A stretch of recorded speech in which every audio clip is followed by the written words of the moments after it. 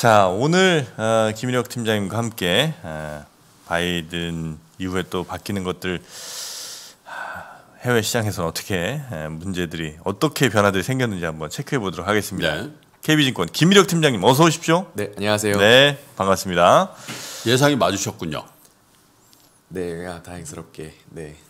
다행. 보고서를 다시 안 쓰셔도 돼서. 네, 네. 아니 왜냐면 이렇게 다 전제를 가지고 이제 보고서를 다 써놨는데 연간 전망 같은 것도 다 그런 전제하에서 그죠. 아, 네. 사실 그래서 아직 연간 전망을 발간하진 못했고요. 아직 못했어요? 네, 그래서 지난주에 보여드린 것처럼 시나리오를 일단 쭉 다 풀어놓은 정도까지만 일단 발간한 상황입니다. 네. 자 일단 뭐 음, 바이든 대통령, 바이든 후보로, 바이든 당선인으로 일단은 미국 언론들도 다 보고 있는 거죠. 네. 네, 미국 언론들은 다 바이든 후보의 당선을 공식화한 상황이고요. 저희가 어, 이런 걸 볼 때 가장 확실한 거는 반대쪽에 확실히 있는 그 음. 언론이 어느 어떤 뭐 얘기를 하고 있는지 그게 중요하다고 보는데 저희 그림 1번 보시는 것처럼 이미 팍스 뉴스도 바이든 후보가 대통령에 당선됐다 라고 일단 보도를 했고 음. 바이든 후보를 당선인이라고 President Elect이라고 이제 칭하기 시작했습니다. 네. 팍스 뉴스는 주요 언론사 중에서는 사실 AP 통신하고 같이 애리조나 결과가 아직 확정이 안 됐는데도 애리조나에서는 바이든 후보가 승리했다라고 그러니까 팍스 뉴스가 오히려 훨씬 더 그 그 그 주의 선거 결과에 대해서 빨리 판정을 했어요, 그죠? 네, 특히 CNN이나 애리조나- 이런 데 비해서. 맞습니다. 네, 애리조나주에 대해서는 더더욱 그랬던 것 같고 예. CNN이나 아니면 뉴욕 타임즈나 비교적 좀 이렇게 친민주당 성향이 있다고 여겨지는 그런 언론들은 오히려 좀 조심했던 것 같은 네. 느낌이 듭니다. 어, 아직 개표가 끝나지 않은 이 애리조나에서도 사실은 바이든 후보가 이겼다라고 그 인정한 뭐 선언한 두 개 중에 하나 언론이고요. 애리조나를 포함하면은 현재 바이든 후보는 290명 선거인단을 확보해서 당선됐다라는 게 이제 팍스 뉴스의 평가이고 이 선거인단이 애리조나 11명이거든요. 그래서 예. 다른 언론사들은 지금 279명의 선거인단을 바이든 후보가 확보했다고 보고 있고 예. 지금 다 보도를 하고 있고 당선 기준 모두 다 270을 넘었기 때문에 지금 어떤 언론을 기준으로 보더라도 바이든 후보의 당선은 일단 어, 확실시 돼 보입니다. 네. 네.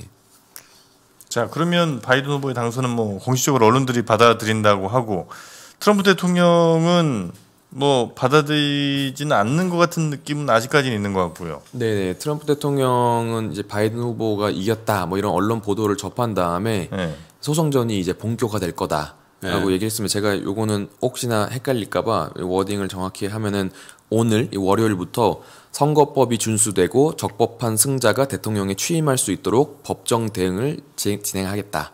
네. 법적 대응을 진행할 거다 이렇게 밝힌 상황이고요. 현재까지 트럼프 대통령 캠프에서 사실 여러 소송들을 제기를 했어요. 근데 예. 대부분은 현재 기각이 된 상황입니다. 이게 어떤 게 좀 받아들여졌냐면 개표 과정을 조금 더 가까이에서 볼 수 있게 해달라라고 하는 정도. 그래서 아. 6피트까지 이제 가까이 와라. 하는 정도 이것도 사회적 거리두기를 해야 되지만 6피트 정도까지는 이제 가까이 와서 볼 수 있도록 하는 거는 일단은 허용이 된 상황이고요. 그렇게 하라고 이렇게 명령이 떨어진 거죠. 이제 지금 진행되고 있는 개표서부터 그렇게 하라는 거예요? 네네. 그게 이제 다시- 어, 네, 엊그저께 이제 난 거라서 그래서 이제 재개표는 이제 각 주 법에 의해서 어, 두 후보의 득표율 격차가 너무 작, 작으면은 일단 그 재개표가 가능하기 때문에 예. 재개표는 일단은 할 예정이고요. 몇몇 주에 조지아주, 위스콘신에서 일단은 1% 미만이면 한다 뭐 이런 위스콘신은 네, 1% 포인트 미만이면 하고요. 예.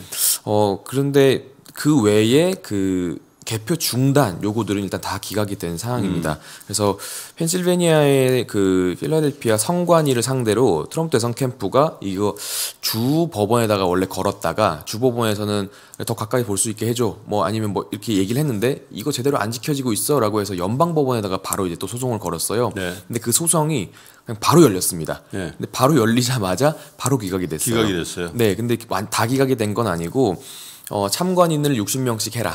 해가지고 이, 하- 이렇게 한 이유가 뭐냐면은 예. 확실하게 많이 이렇게 투입해가지고 이거 가지고 다시 문제 삼지 않도록 해라. 라는 게 이제 핵심인 거고 사실 요 판결을 하신 분이 폴 다이아몬드 판사라는 분인데 요 분이 조지 WBC가 지명하신 분이라고 하더라고요. 대법관 중에 네, 아, 아닙니다. 그러니까 연방 법원이 지방 법원인데 아, 지방 법원. 네.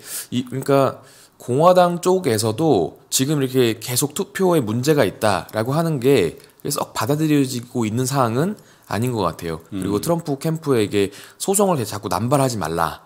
식의 메시지를 좀 던지고 있는 상황이고 네. 저는 조만간 좀 의미 있는 판결이 나오면은 좀 다르게 생각해 볼 만 하지만 그렇지 않다면은 이제 트럼프 대선 캠프는 사실상 승복을 위한 출구 조사를 아니 출구 전략을 이제부터는 좀 짜야 되지 않을까라고 생각도 합니다. 어제- 말씀하신 조지 W 부시 대통령이 그 불복하고 있는 트럼프 대통령에 대해 얘기를 했더군요. 대선은 공정했고 결과는 분명했다. 그리고 바이든에게 축하한다. 원래 두 분이 또 각을 세우기도 해- 했었고요. 예. 네, 텍사스에서도 사실은 두 분의 격, 그 두 후보의 격차가 아주 크지 않았던 거는 음. 거기서 영향력이 워낙 컸던 조지 W 부시, 그러니까 부시 일가가 네. 트럼프 대통령하고 약간 각을 세웠기 때문에 그랬다는 얘기들도 있습니다. 음. 네. 자 상원은 어떻게 됐습니까? 지금 뭐 그래서 이게 blue wave냐 아니냐 이거 가지고도 아직 결정이 안 된 것 같은데. 네, 이게 하원은 일단 민주당의 의석을 좀 일부 뺏길 것 같고요. 예. 네, 그래서 그래도 상원은 다수당이고. 네, 그래도 다수당 지위를 유지하고 예. 상원은 공화당이 어, 비교적 잘 지킨 것 같은데 음.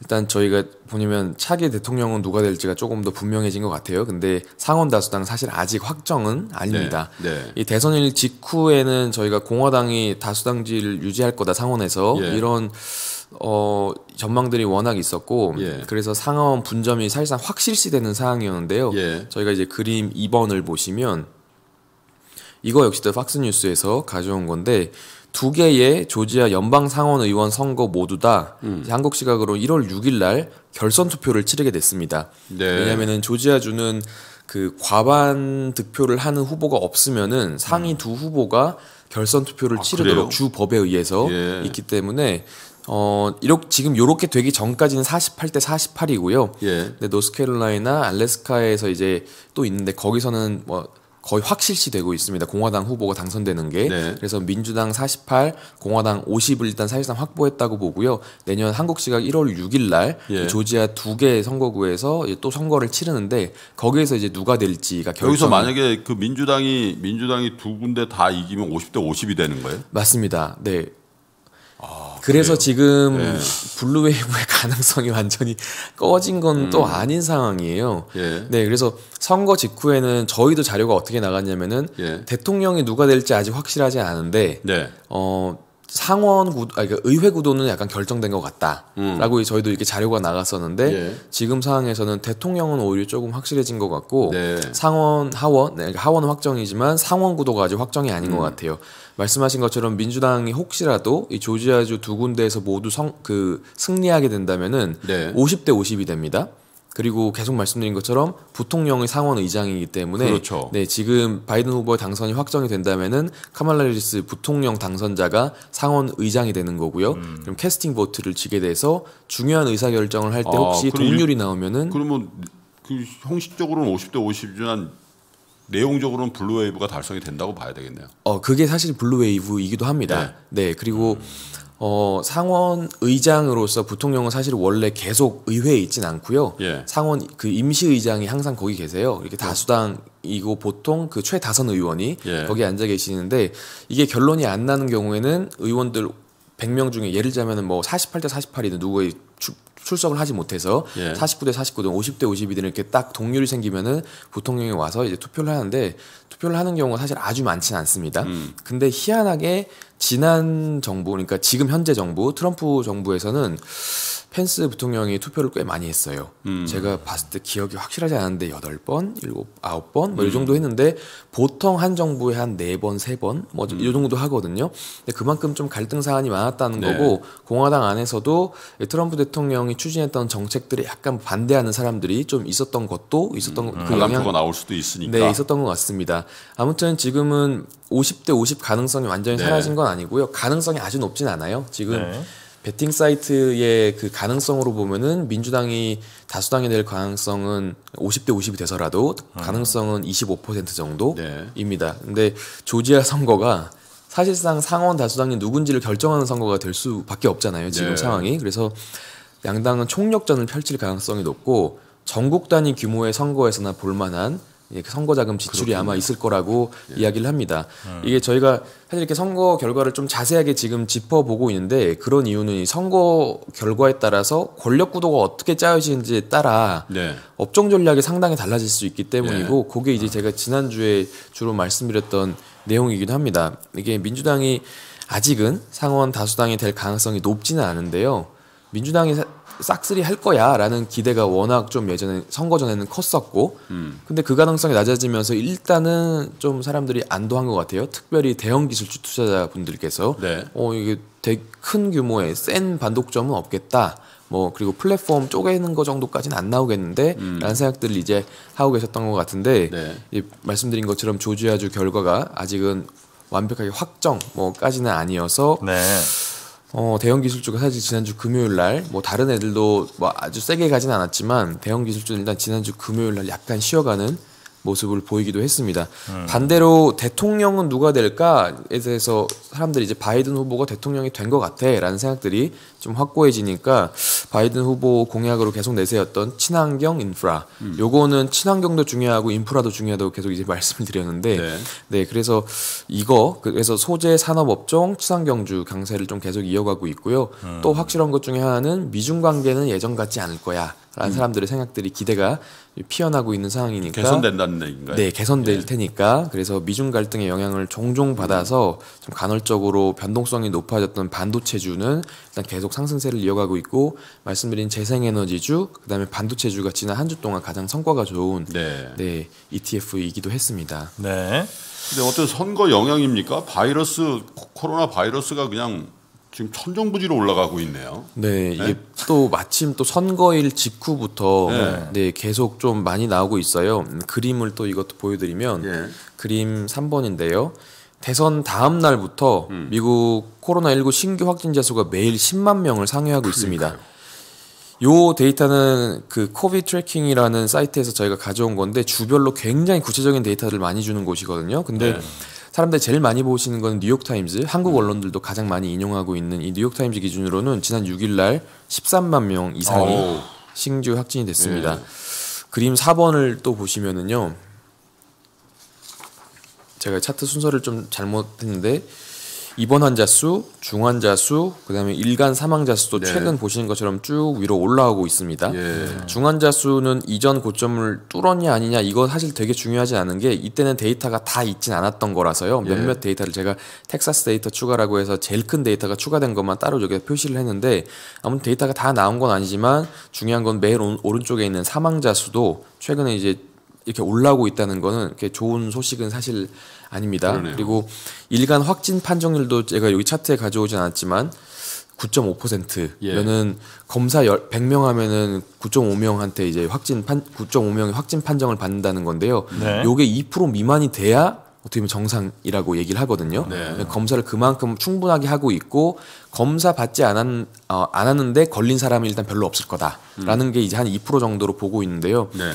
어, 이게 꽤 높은 상황입니다. 지난 6, 10월 확산기에 비해서도 높은 거고요. 예. 네, 7일 평균치도 지금 8% 육박하고 있어서 아, 바이러스 확산세가 지금 상당히 좀 좋지는 않고 제가 계속 말씀드렸던 게 지난번에 특히 이게 확산 속도가 빨라져서 신규 확진자가 많아지는 그 자체가 문제는 아니다. 예. 입원 환자 수가 늘고 중환자 수- 수가 늘고 해서 의료 시스템에 부담이 커지는 게 문제다. 왜냐면은 그러면 더 이상 이제 부- 주지사들 입장에선 답이 없으니까 야 봉쇄 아니면 이제 이동 제한 이런 걸 이제 할 수 있고 이게 이제 경제에 큰 영향을 미치는 게 사실은 문제인 거잖아요. 네.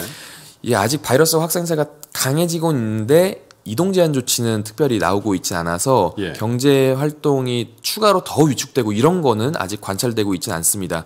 거기다 이제 그림 5번 또 보시는 것처럼 바이러스가 네, 넓은 지역에서 퍼지면서 의료 시스템도 이전에 비해서는 좀 잘 견디고 있어요. 요 네. 차트가 이, 이야기하고 있는 건 주별 입원 환자 수 분포 정도인데 이게 위로 올라갈수록 한 곳에 그러니까 몇몇 주에서 이제 그 환자 수, 그가 바이러스 확산이 좀 집중되고 있다는 거고 요게 낮아지고 있다는 건 여러 주에서 이제 확산되고 있다라는 의미라고 이게 보시면 됩니다. 집중되는 게 더 위험하다는 거죠. 의료 시스템 거기서 붕괴될 수가 있으니까. 맞습니다. 이게 전국적으로 예를 들어서 5만 명이 일, 일일 신규 확진이 됐다라고 하더라도 한 지역에서 만 명, 2만 명씩 되는 거 하고 50개 주에서 1000명씩 되는 거하고는 부- 의료 시스템 위치는 부담이 지난 상당히 봄에 이제 다르니까요. 뉴욕 같은 데들이 이제 그런 경우였는데 그죠? 네, 3월, 집중됐던. 4월에요. 예. 네, 그리고 6월, 7월에는 플로리다, 텍사스 뭐 요런 몇몇 지역에서 좀 많이 확산이 음. 됐었습니다.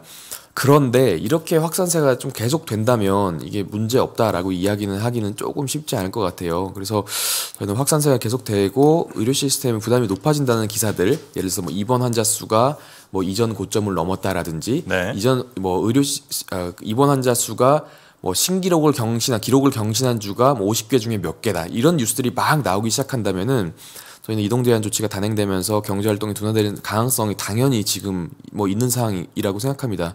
왜냐하면 이동 제한 조치가 사실 나와야 이거 좀 잡히고 잡히잖아요. 근데 지금은 이런 게 안 나오니까 계속 확산되고 있는 근데 어쨌든 상황이기도 하죠. 선거는 끝났고 정권의 인수기에 이제 들어갈 걸로 전제했을 때 사실 선거 전에는 어떻게 보면 코로나 19에 대한 에, 정책이라는 게 선거 전에 활용됐다는 측면도 있거든요. 네네. 왜냐하면 트럼프 입장에서는 트럼프 저 대통령 입장에서는 봉쇄라든지 이런 거를 한다는 건 지금까지 해온 스탠스를 완전히 뒤집는 거기 때문에 확산이 되더라도 그걸 할 수가 없는 상황이었잖아요.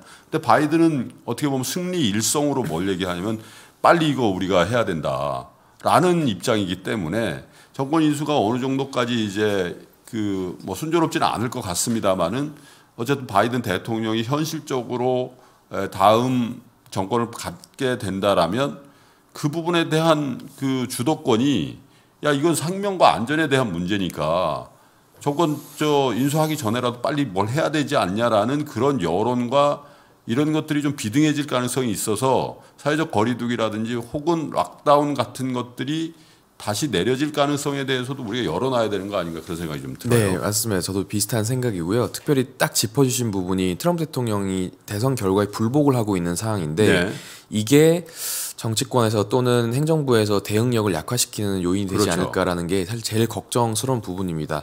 어제 바이든 후보가 승리 연- 연설을 했었는데 거기서 코로나19 관련된 내용을 상당히 길게 이야기했어요. 예. 그리고 뭐 여러 가지 정책들을 얘기했지만 아, 참고로 증세 이야기는 하지 않았습니다. 예. 네, 여러 가지 이야기를 했었는데 어, 코로나19 대응을 최우선에 놓, 놓겠다. 그리고 뭐 여러 차례 그런 내용들을 강조하고 그러면서 오늘 월요일에 관련된 전문가, 과학자들을 뭐 로 구성된 팀을 자기가 이제 발표하겠다라고 했고 이 사람들은 청사진을 제시할 거다. 코로나19를 어떻게 대응할지. 근데 이것도 결국은 1월 20일 날 음. 네, 이, 바이든 후보도 그렇게 이야기를 했어요. 1월 20일부터 시행될 코로나19 대응과 관련한 청사진을 이 사람들이 마련할 거다라고 이야기를 하는 게 지금 사실 인수위가 제대로 가동이 된다면 인수위가 이렇게 아, 어 바이든 후보 캠프에서 사실상 이제 대통령 당선인 신분으로 이러이러한 정책들을 하고 그다음에 정책 협의가 가능하고 그러면 이제 어떤 정책들이 그렇죠. 필요하다 이런 것들을 할 수 있는데 지금 그런 걸 기대하기가 조금 어. 려운 상황이라는 게 좀 문제인 것 같습니다. 그리고 트럼프 대통령이 이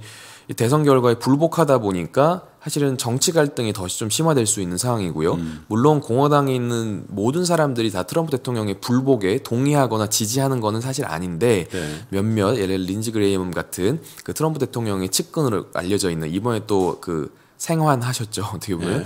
그분 들처럼 어, 그런 그 트럼프 대통령의 의, 그 의견에 지지하는 분들처럼 뭐, 뭐 그런 세력들도 아직은 있는 상황이라서 참 만만한 일이 아닐 것 같아요. 그래서 이제부터 중요하게 봐야 하는 거는 코로나19 대응을 이 어떻게 될지 이제 그거는 트럼프 대통령의 불복을 어디까지 할지 이게 중요하다고 보고 저는 사실 뭐 이번 주 다음 주 정도의 의미 있는 판결들이 나오지 않으면은 저는 트럼프 대통령도 소송을 계속 이어가기 이어갈 동력을 확보하기는 참 만만치 않을 것 같습니다. 의미 있는 판결이 나오지 않는다면 아 트럼프 쪽에서 의미 있는 맞습니다. 네, 그러니까 뭐 재검표를 법에서 허용하는 것그 이상으로 뭐 이상이라고 하긴 좀 그렇지만요. 자연스럽게 그냥 하는 거 말고 어 아무리 봐도 진짜 문제가 있는 것 같은데 그러니까 하- 재검표 해라라든지 뭐 이런 것들이 나오지 않다면 그다음에 선거 부정이 아주 광범위하게 이루어졌다라는 것들이 나오지 않는다면은 지금 어 사실 지금까지 나온 걸 보면은 쉰 일곱 표. 물론 이제 초표 한 표도 다 소중하고 그리고 이것도 이제 한 표도 만약에 뭐 찢었다면 이거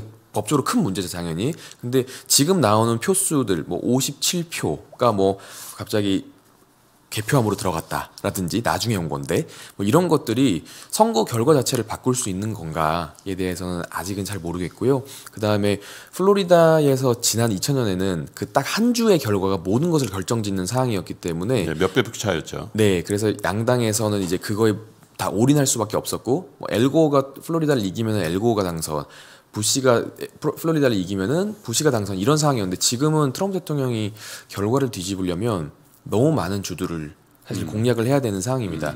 일단은 펜실베니아 당연히 그럴 거고요. 그 다음에 뭐 조지아, 애리조나, 네바다. 네, 이런 주들을 지금 다 공략을 해야 되는데 이것도 돈이 꽤 많이 드는 일이죠. 그래서 트럼프 캠프에서는 공화당에서 낸다면서요? 네네. 그래서 한국 돈으로 6, 700억 정도를 조달해 달라라고 이야기하는데 사실 선거나 뭐든지 이게 다또 돈 문제잖아요.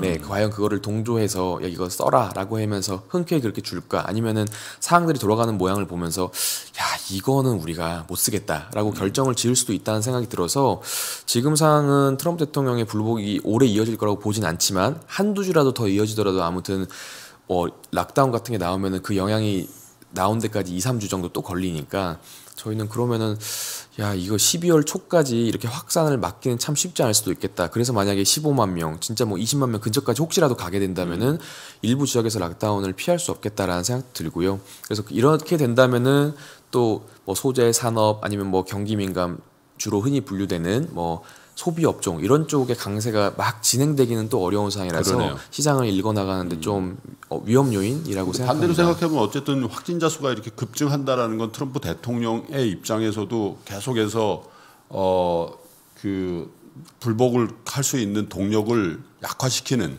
그런 상황으로 가겠네요. 미국의 민심이라는 것도. 네, 또 아직 빨리 어떤 조치를 해야 되는데 정권 인수가 제대로 진행이 안 되고 그러면 사람이 죽기 때문에 이제 그런 상황으로 갈 수도 있겠다는 생각이 드네요. 네, 또 상원의석 이제 두 석이 아직은 결과가 남은 상황이라서 네, 코로나 19가 혹시라도 민심에 부정적인 영향을 공화당 측에 아, 예, 미친다면은 그 서- 그 공화당이 의석에. 결정할 가능성도 저희는 네, 꽤 있지 않을까 싶습니다. 일단은 쿠슈너 사위하고 멜라니아 여사가 트럼프 대통령에게.